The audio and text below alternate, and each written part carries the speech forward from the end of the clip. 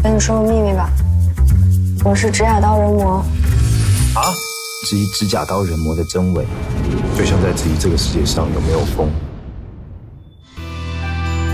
Can you do me a favor？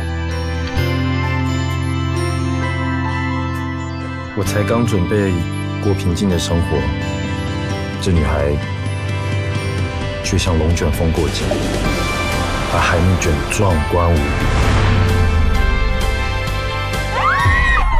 那天我舔完，你觉得那个味道特别怪，我们以后也都别见面了。有一个更专业的用语，叫做打完就好。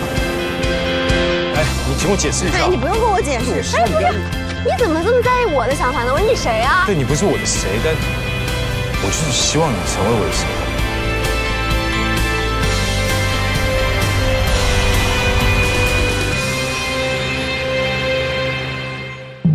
现在年轻小女生玩玩就好。懂得吃的就会吃年长的。